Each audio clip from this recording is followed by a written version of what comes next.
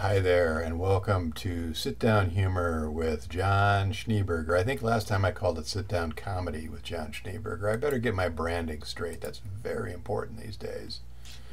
So, people often ask me in my dreams, uh, What are you up to these days, John?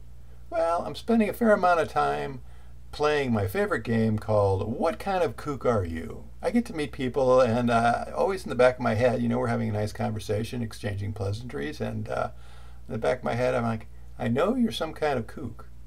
It's like living in Oz, you know. Uh, it's like, are you a good witch or are you a bad witch? I mean, it goes without saying that you're some kind of witch. You're living in Oz. Same here. It goes without saying that you're some sort of kook. You're living in the Bitterroot. You're some sort of radical individualist. So are you into homeopathy? Are you a good kook or are you a bad kook? Are you into homeopathy? Are you a national security militarist? Uh, do you believe that yoga can cure cancer? Or do you believe that Jesus wrote the Constitution? Uh, do you believe in crystal washing? Or that the Jews were the spawn of Satan? I mean, who am I kidding? A lot of people are both, and you can find them in a booth at the farmer's market. Now, um, I'd hate to report to you that um, I'm addicted.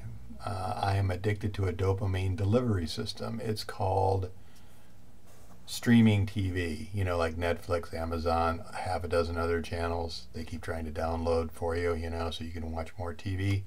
And I'm already addicted, so this is bad. You know, I'm watching I'm watching this thing called The Crown, uh, which I totally disapprove of their behavior and the whole concept of it the royalty in Britain. Are you kidding me? But it's well written. You know, but it's it's kind of like, you know, some uptight deacon watching Real Housewives. You know, they're just like, oh, disgusting. But definitely arousing. Same with the crown with me, you know, it's it's like pornographic elitism. You know, I'm I'm like, who do they think they are? How many hours have I been watching this? Ooh. Course, you know where this is all headed to. You know, the Hitler Channel. Yeah, just doing research. Uh, so it never happens again. Oh, look, they got new uniforms. Oh. Of course, the United States of America itself is kind of a reality TV thing, and it's pretty clear that they've got a new showrunner, and the direction has completely changed in the last three and a half years. You know, I want I want to say that USA, the reality TV show, was like an art film or anything, but it it had some depth in the script. There was a little bit of multi-dimensionality in the characters. Uh, not anymore.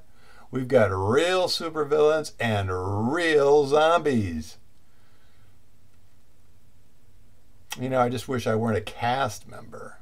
I mean, who's going to do my stunts for those street scenes with the gassings and the beatings and all that? Not looking forward to it. Sorry, this kind of got heavy, but uh, maybe I'll make up for it next time with something like, What about the kids these days? What are they up to? Oh my gosh. So, you know, kids these days, am I right? Uh, so, anyway, maybe that'll be next time and uh, more in character, curmudgeonly stuff, you know. But anyway, I'm going to stop now and say BBFM and make sure you uh, hit the like button uh, because I'm, a, I'm an approval junkie, uh, of course, because, you know, I'm recording this.